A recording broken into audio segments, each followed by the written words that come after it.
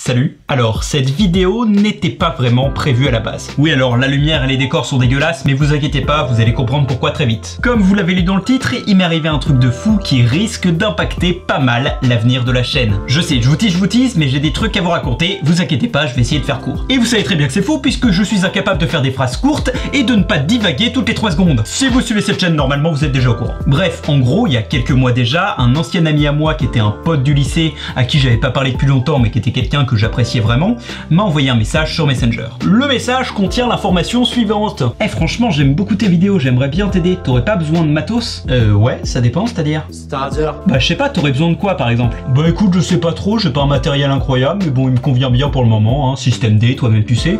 J'ai quoi? J'ai un petit Nikon qui me convient bien, qui est, qui est assez sympa. J'ai un micro que j'ai acheté il y a pas si longtemps, qui est pas incroyable non plus, mais il fait le taf.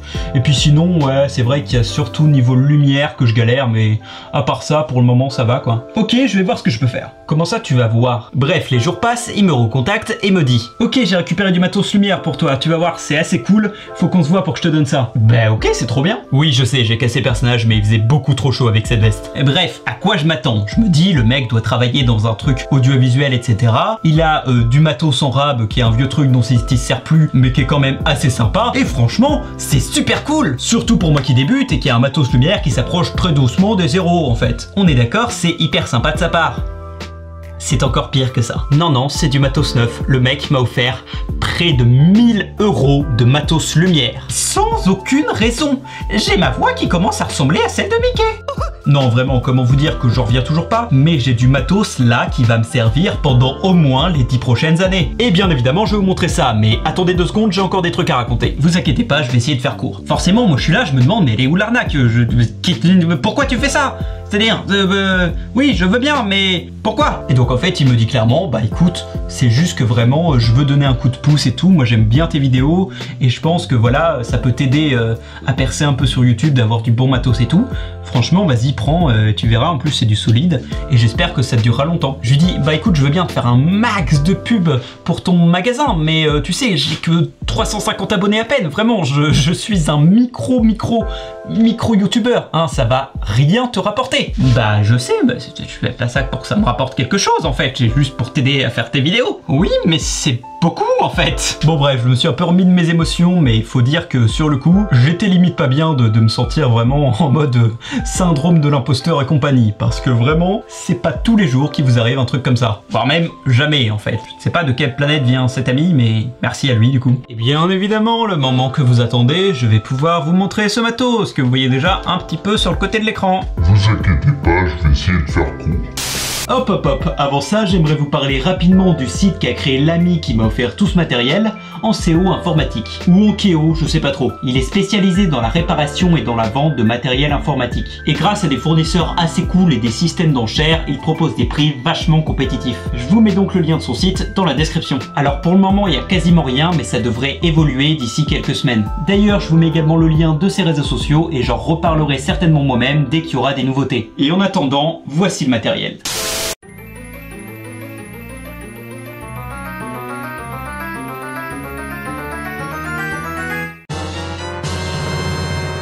Bon, attention, ça va juste être tout blanc en fait. Voilà.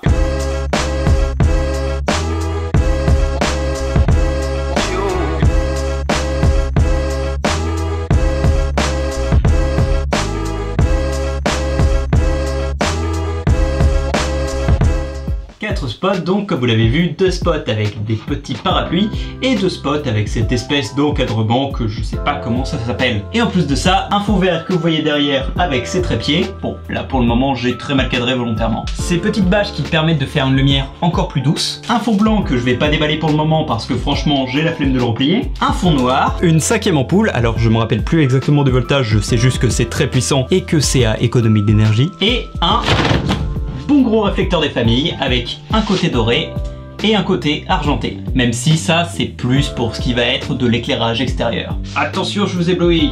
Waouh. Et en vrai, il est pas trop dur à replier, ça va. Ah putain C'était bien sûr une blague. Et maintenant, la partie que vous attendez tous, les tests.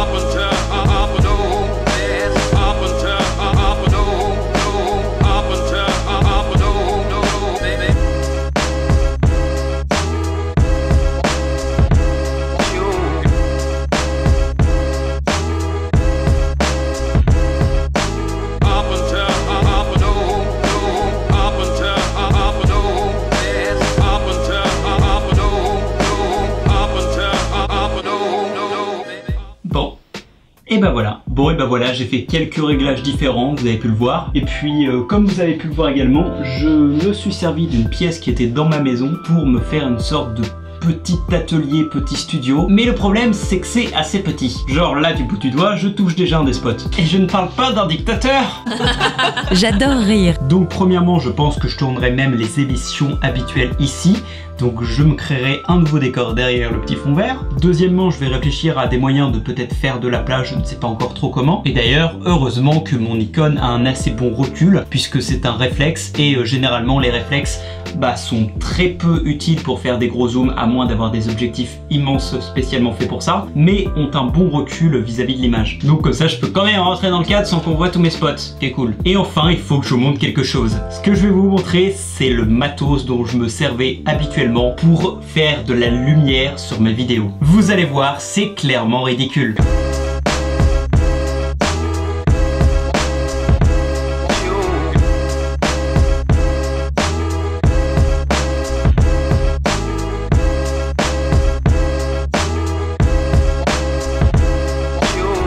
Matos lumière composé de une lampe éclairante Parkside, que je devais accrocher avec cette partie-là qui était montée sur un halogène, dont du coup je me servais pas pour faire de la lumière parce que ça consomme beaucoup trop, ainsi que cette merde que je devais accrocher un vieux pied dégueulasse avec ce genre de grosse pince là. En plus de ça, le Parkside fait pas mal de lumière, mais il a une batterie qui tient pas tellement longtemps, donc c'est très chiant de devoir le, recharger en plein tournage. Et en plus, la lumière qu'il émet commence à diminuer un peu au bout de 5 minutes, ce qui fait que j'étais obligé de le laisser chauffer avant de tourner pour pas devoir refaire mes réglages en plein tournage. En plus, la lumière aurait pas été la même. La praticité de ce matériel lumière était donc proche de Bon, voilà, j'ai remis les spots, mais vous avez vu que c'était quand même quelque chose. Je pense que je pourrais jamais être assez reconnaissant pour euh, cet ami. Merci encore mille fois à lui de m'avoir offert ce matos. C'est vraiment un truc complètement fou, j'en reviens toujours pas. Et je vais vous mettre vraiment, comme je vous ai dit, son site dans la description. Allez y faire un tour parce que, bah, juste au moins pour le remercier, quoi. Même si c'est pas à vous qu'il a fait un cadeau, mais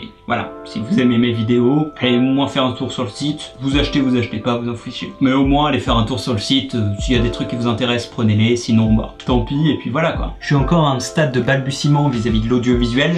Savoir que je pense que ça se voit, mais je suis quelqu'un qui n'est pas très très doué euh, pour la technique je serai jamais un techos, hein, clairement. Et pour le coup, bah, je vais quand même essayer de me renseigner à balle pour euh, peut-être savoir mieux me servir de ce matos lumière qui est pas d'un niveau professionnel, mais pas très loin quand même. Et voir également s'il y a des réglages auxquels je peux toucher que j'ignorais encore pour rendre cette lumière encore meilleure. Et c'est vrai que bon, maintenant, c'est un peu le reste de mon matériel qui fait un peu pas le figure. Et reste de matériel que je vais vous montrer, hein, désolé si je suis Alors voilà, donc vous avez mon appareil photo qui est un Nikon D5200, euh, donc voilà, qui est un peu un entrée de gamme si vous voulez, un peu comme, euh, comme des canons qu'on peut retrouver également. Et j'ai un petit micro que je m'étais acheté euh, il y a un certain moment, non je crois carrément que c'était un cadeau de Noël il me semble, euh, donc je me souviens pas exactement de la référence, je vous le mettrai au montage si je la retrouve, mais qui voilà est un petit micro qui est pas incroyable, vous m'avez déjà fait des retours assez négatifs niveau du son, je pense que dès que j'aurai de nouveau un peu de sous pour à mettre dans le matériel,